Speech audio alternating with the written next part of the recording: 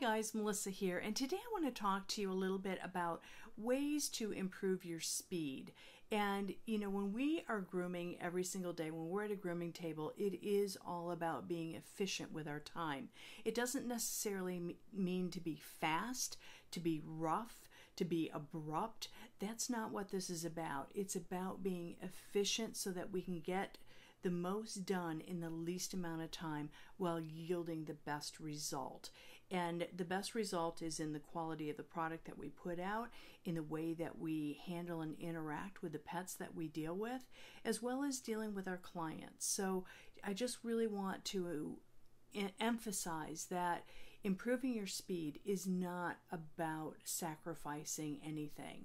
It's about maintaining and, and actually enjoying what you're doing even more so because you're efficient. You've got confidence with with what you're doing.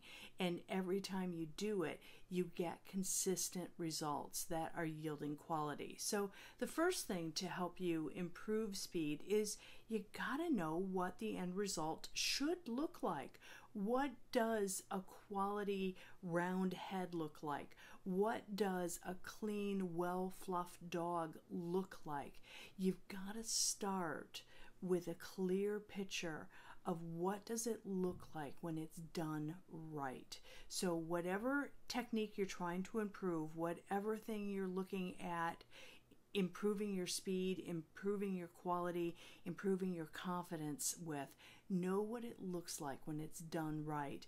And then the next thing that um, I want you to really think about is clocks, timers. I still remember being in a salon that they were saying the entire salon had a problem staying on, on task, on time, getting dogs done when they were promised. And when I looked around, there was very few clocks.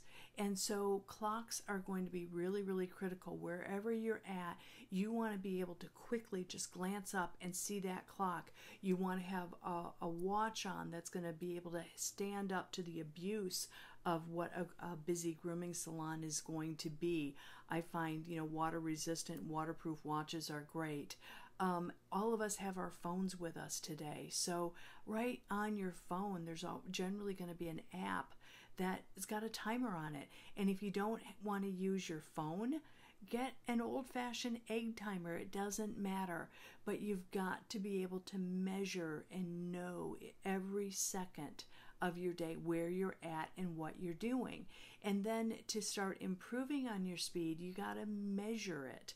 So if you are struggling to get a dog, a small to medium simple trim done in an hour or less, start measuring how long does it take you from the time you put that dog on the table to the time it gets to the tub and from the tub to the drying area and from the drying area back onto the finish table. And how long does that finish take you?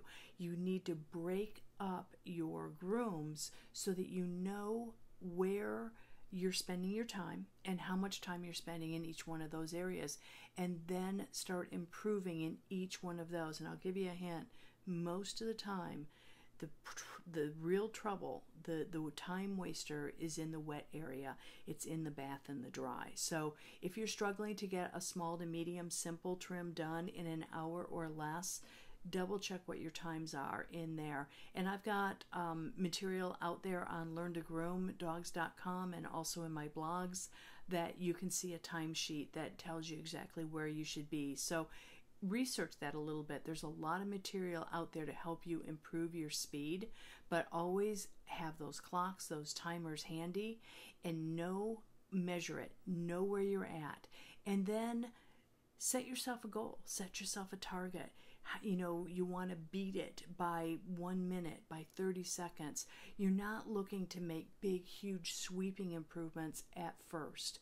What you want to do is make very small, incremental changes as you improve, as you focus on whatever task it is that you're trying to improve your efficiency with. Um, and celebrate the the small wins and and celebrating means you know just sometimes just giving your own self a pat on the back for for hitting a target uh, yeah i did it those types of things those successes help you move forward. And if you don't hit the target, if you don't make it, don't beat yourself up too bad. You got another chance, another time. Just keep measuring and keep tracking where you're at.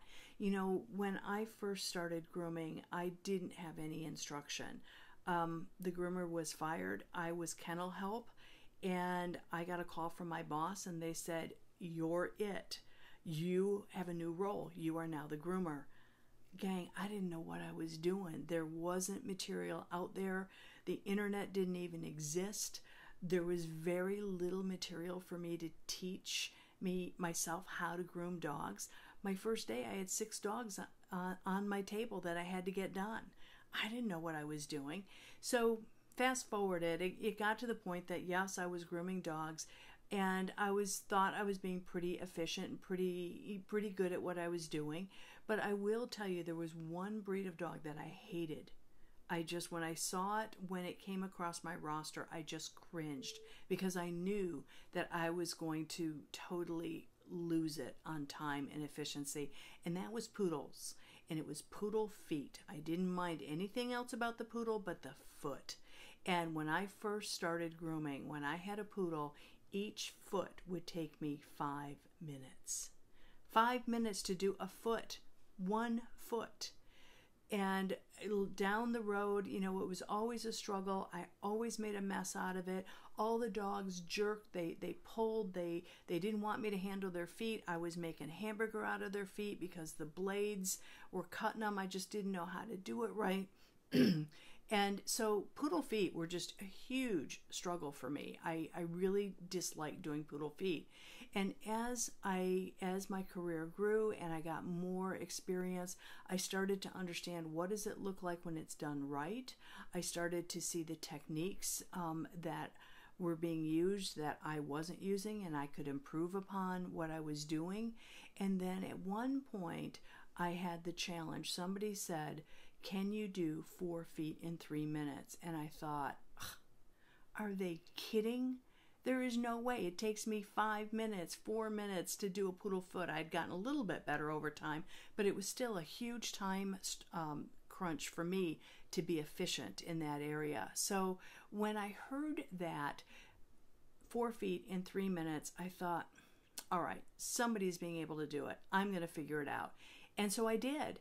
And it took me quite a while. I'm not saying I, I nailed it right out the gate, but at at some point down the road, I did, at height of my career, figure out how to do four feet in three minutes, and they were done well. So it can be done, you know, but you've got to focus on it and you've got to pay attention to what you're doing.